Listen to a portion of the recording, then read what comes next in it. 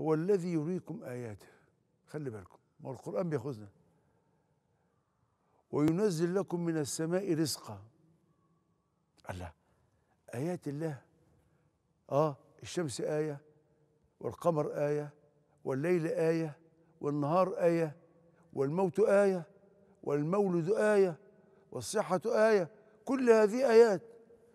وبينزل لكم من السماء رزقا. الماء من السماء. ولولا الماء ما نشأ على الأرض أي رزق.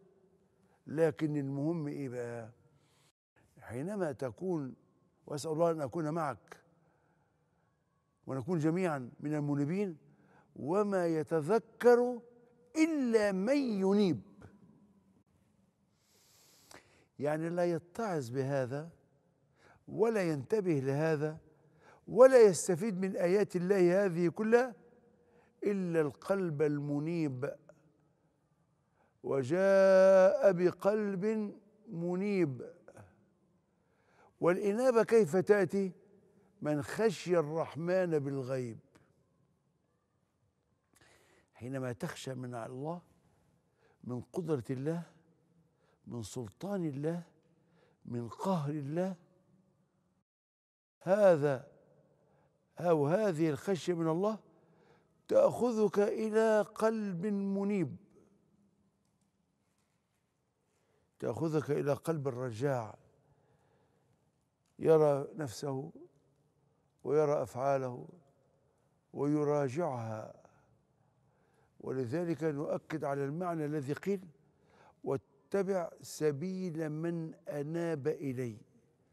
هذا معناه أن تكون لك معرفة. بسبل المنيبين بسبل الرجاعين من معرفة سيرهم من قراءتهم من قراءة أحوالهم من معرفة عبادتهم. يعني تعالى أخي المسلم لما نسمع رجل زي الإمام النووي جلس في دمشق فسرق يوما من بستان بعض الفاكهة.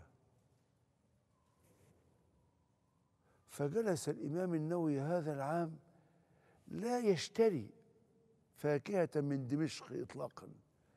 مخافة أن يكون فيها مما سرق. شوف العبد المنيب إلى الله. سيدنا أم المؤمنين عائشة أقسمت يوما بالله فحنست مع أن في الحنس تشريع حقيقي لأنها أقسمت ألا تكلم قريبا ثم صالحته. فأعتقت رقبة وهي بتموت. وجدوها تبكي. قالوا لما يا أم المؤمنين؟ قالت حلفت بالله يوما فحنست. مع أنها كفرت والتكفير على الذنب انتهى. لكن القلب المنيب يخاف. وأنيبوا إلى ربكم. وأسلموا له من قبل أن يأتيكم العذاب. ثم لا تنصرون.